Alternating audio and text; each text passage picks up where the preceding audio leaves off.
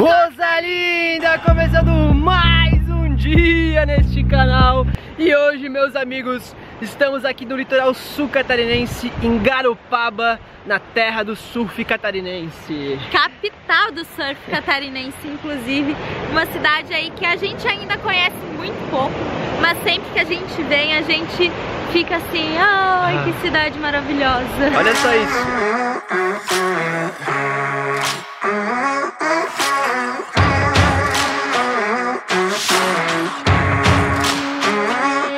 Estamos aqui com a nossa Kombi, a manezinha que a gente está transformando numa casinha sobre rodas para fazer o quê? Pra gente cair na estrada e viajar aí o sul do Brasil, o Brasil, as três Américas, viajar todo mundão. A gente veio aqui pra Garopaba pra gente fazer, pegar aqui nossas máscaras. Aqui, amor. A gente veio pra cá fazer a Rota da Baleia Franca, que é assim um turismo de inverno muito forte, onde a gente consegue passar pelas praias aqui, principalmente de Laguna, Garopaba e Imbituba, no litoral sul catarinense e fazer o avistamento de baleias, né? No vídeo passado, quem viu, viu aí que a gente conseguiu observar as baleias, cara, e foi sensacional, é sempre um momento muito emocionante, né? Velas com seus filhotes, ela casalando, dando os filhos aqui, é, é incrível. Agora vou dar um rolezinho pra mostrar pra vocês também aqui essa pracinha que é muito bonita e que a gente prometeu que ia voltar de Kombi aqui, né? É verdade, da primeira vez que a gente veio a gente disse não, vamos voltar de Kombi pra Garopaba porque essa cidade merece... Assim, a vibe da Kombi. Né? A vibe da Kombi, porque essa é uma cidade que tem uma vibe muito boa, assim, é, é uma vibe diferente. É uma cidade bem pequenininha, tem aí 14, 15 mil habitantes, mas ela é bem grande em território, sabe? Tem bastante espaço de terra, apesar de ter poucas pessoas morando. E a vibe, não sei explicar, gente. É a vibe do surf, é a vibe de praia, da pesca. É maravilhosa. Essa aqui é a pracinha central aqui de Garopaba assim como várias cidades do litoral aqui de Santa Catarina, ela, ela, foi colonizada principalmente pelos açorianos, né, que são aqueles imigrantes que vieram lá da ilha de Açores, de Portugal. E isso faz com que a cidade tenha uma configuração muito parecida com várias cidades que a gente já visitou, inclusive lá em Floripa, né, com aquelas casinhas coloridas, com uma tradição da pesca, principalmente da tainha muito forte.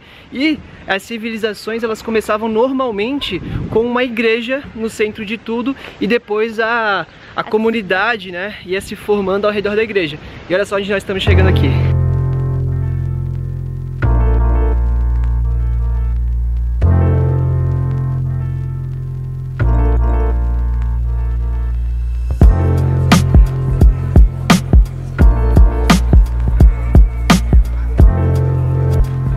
Para vocês verem, né, como a igreja, ela foi a praça tá aqui embaixo e ela é construída um pouco acima e virada para o mar. E não é por acaso, né, amor? É verdade, é super comum, inclusive, uh, igrejas assim do litoral de Santa Catarina serem construídas de frente para o mar, porque antigamente todas as pessoas importantes que visitariam a cidade, elas viriam pelo mar.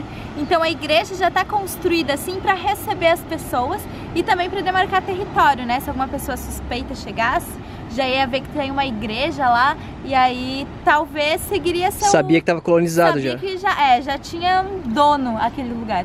Ali em cima a gente vai para a Praia do Vigia. Vamos pegar come para ir lá? Vamos, vamos. Ali, ó, aquela estrutura é a antiga casa do governador, uma senzala também, porque a mão de obra escrava foi muito do que construiu tudo isso aqui. E eles usaram o que para construir aquilo ali mesmo? Óleo de baleia. Tanto a casa ali quanto a igreja foram construídas com óleo de baleia porque não tinha cimento. O cimento da época era a baleia. Muito louca a história de caça às baleias que existia, né? Eu mesmo fui criado num bairro que chamava Armação, porque eles armavam para pegar as baleias e matadeira onde eles matavam e tinha um rio sangrador, por causa do sangue que escorria. Né, e eles faziam muitas coisas com, isso, com que extraíam das baleias, né? Faziam construções, usavam como tipo um cal, é, usavam até a, a, carne que eles não consumiam, eles davam para os escravos consumirem.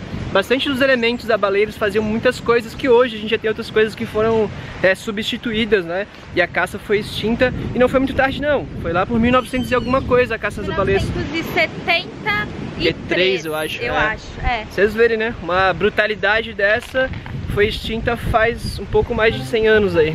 A Ana tava me corrigindo aqui, né? Eu sou muito bom em matemática. 1973, 2021, um pouco mais de 100 anos. Não, É, porque a gente tá em 2073. Ainda bem que eu não fui pras exatas, apesar do meu irmão ser professor de matemática. Bom, a minha mãe também é professora de matemática, mas assim.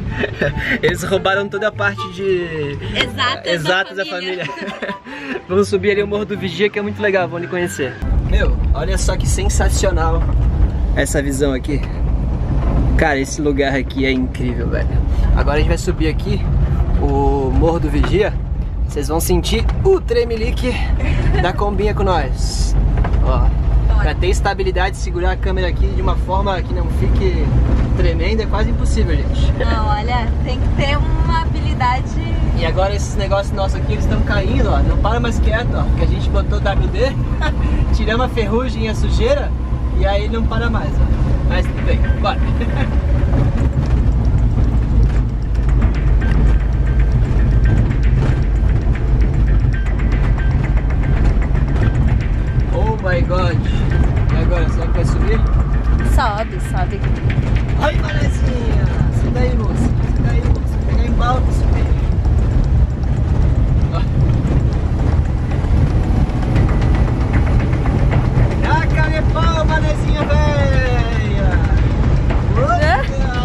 Ai,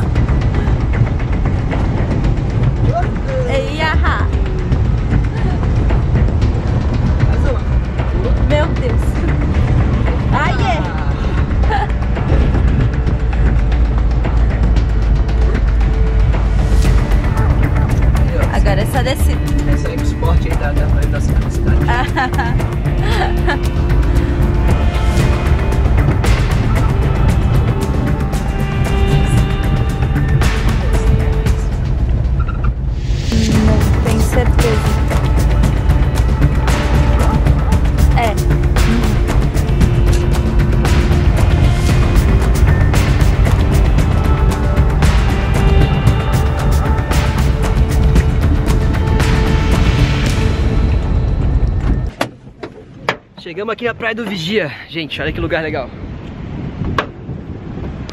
Olha que bonitinha que é essa praia aqui. É quase uma praia particular, essa faixinha de areia. E essa, olha só que vista, sensacional. Vamos ali embaixo tomar um chimarrão?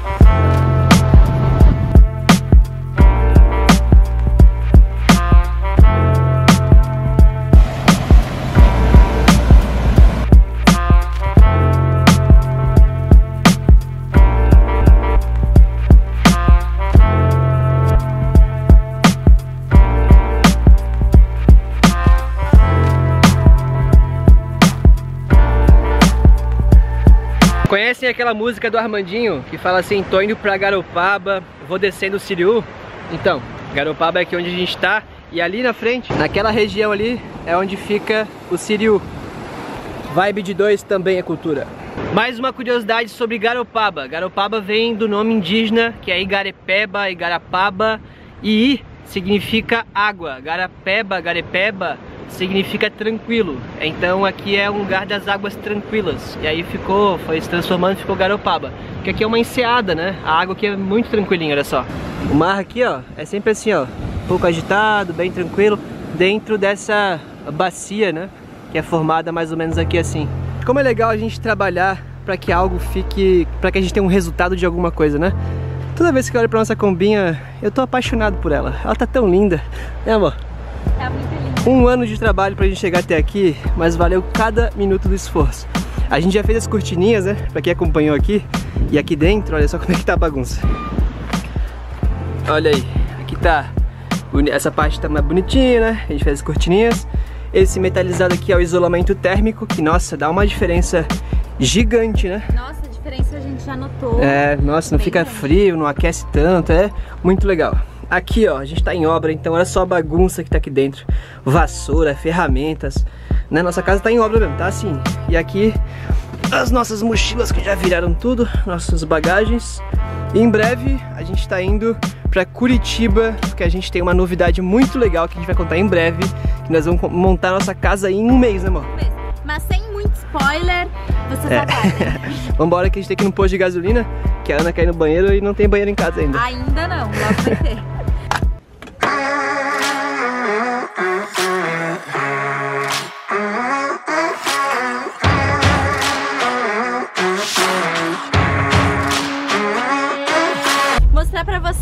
Agora o nosso sistema de som exclusivo, importado, tecnologia da NASA, que é uma caixinha de som da JBL e a gente apoiou no... Era o cinzeiro da isso aqui, né? Acho que é. É um cinzeirinho, É, que a gente apoiou aqui, ó. Apoiou ali, ó. Resolveu, né? Ficou. Resolveu, ficou perfeito.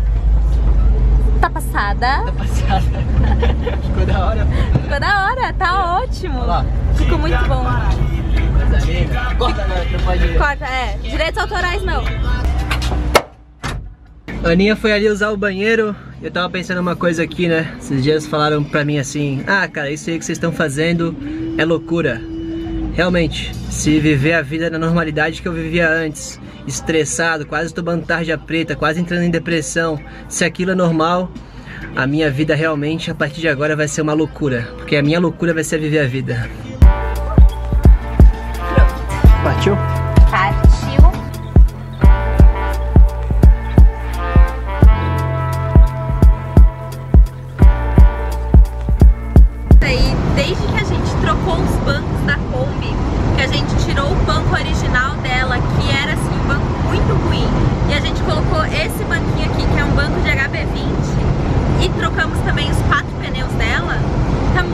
Muito gostoso de andar de Kombi. Assim, a Kombi tá maravilhosa, tá super gostosa, tá confortável de ficar aqui dentro.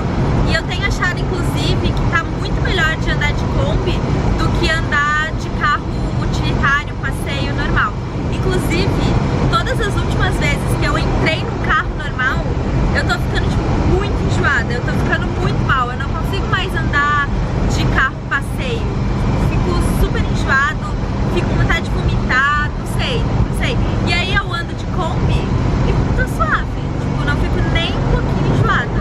Mas aí agora eu entrei no carro, vou, vou passar mal. Amigos, amigos, vejam que essa é a prova de que as pessoas podem mudar. É verdade. uma menina que comprar uma Kombi, falou que Kombi nunca na vida. Olha o que ela tá dizendo, hein?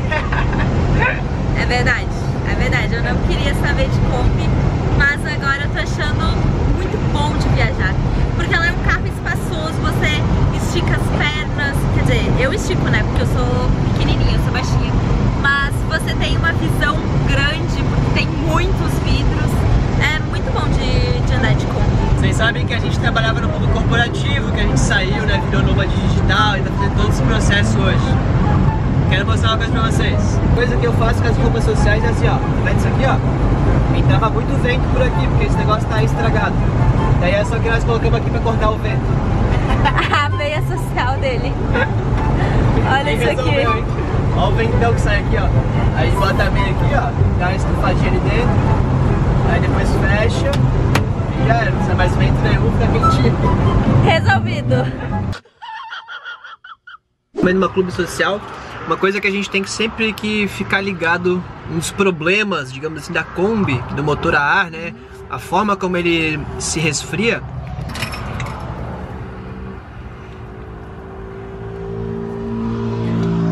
É isso aqui, ó, a gente botou um, um medidor de temperatura do óleo. Então, ó, o óleo já passou de 90 graus, a gente para a Kombi, espera esfriar o óleo para depois seguir viagem.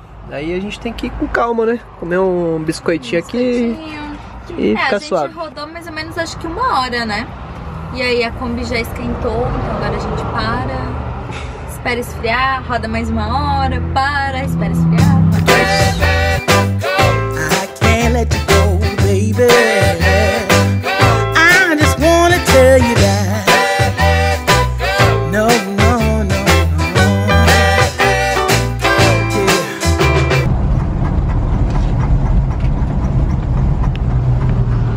coisas certas na vida: a morte, ninguém consegue fugir dela, e a fila na Palhoça, Santa Catarina. É só você chegar aqui na Palhoça, quase chegando em Florianópolis, que você vai encontrar uma puta de uma fila muito chata.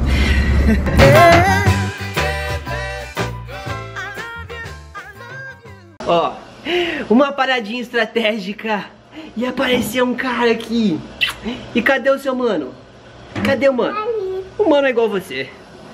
Pô, aquele cara não é você. Ué, mano, acho que é você, hein? Não, eu sou da filha. Ah, você é o Davi. Eu. E cadê- Nós, somos- parecidos. São parecidos? Nós somos gêmeos. Ai, cadê o Pedro? É. É você? E o Davi tá onde? Deixa eu ver, dar um sorriso dois pra câmera. O que, que vocês são, gêmeos? Ai, que lindo. Aí nós temos almofada. Então pega a almofada pro tio, pro Dindo. ai, ai, ai, sem querer. Ai, ai, ai. Não tem almofada. Oh, isso aqui é uma energia de fogo. Igual mexeu ali. Tchau, amigão. Tchau. Tchau. Gostasse da Kombi? Gostasse? Fazer pose, cara. Tu gostou da Kombi? Gostou? Gostaram? Gostaram da como? Aquela imagem clássica nossa chegando na ilha com a nossa ponte S2 ao fundo. Estamos chegando em casa. E que cansaço! Chegamos em casa, já jogamos as nossas coisas ali no sofá, porque depois a gente arruma, a casa tá uma bagunça. Então era isso, gente. Se inscreva aqui no canal, deixa um like nesse vídeo, porque tem muita coisa legal pra vir por aí. A gente vai voltar para Curitiba, volta o cão arrependido, porque a gente falou que não, não queria mais voltar pra lá, mas a gente vai voltar e é por uma razão muito boa, mas aí sem muito spoiler. Então é isso, até a próxima. Tchau!